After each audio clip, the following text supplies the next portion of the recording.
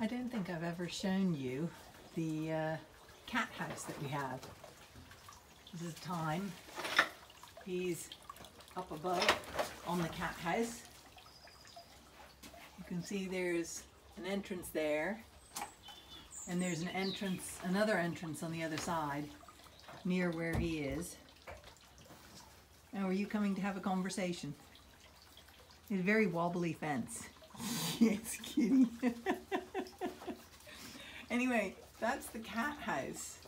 And this front door is uh, with the bolt on it. This is the bins, where I have my bins. But this front door, okay, the bolt is not a bolt, it's a nail.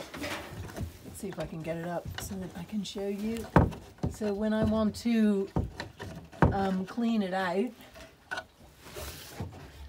I can open it up and in there are the cat's bedrooms. You can see there's a corner that the cats have to go around. That's the entranceway there.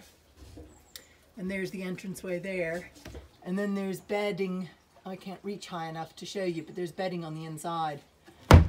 So it's lovely and warm. Kind of, the bolt died. Too much cleaning out of cat houses. But, uh, so it's now a long nail. So that is the outside cat house, which the cats have to keep lovely and warm when they decide they don't want to lie on the straw. And they have this cushy number to look out if they want fair weather.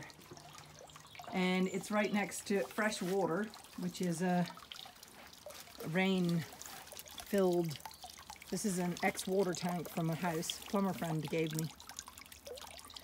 So this is, uh, so there's the cat house sheltered in out of the weather and cozy for when the cats are outside and don't want to curl up in the stable or sheds with the hay, on the hay or straw.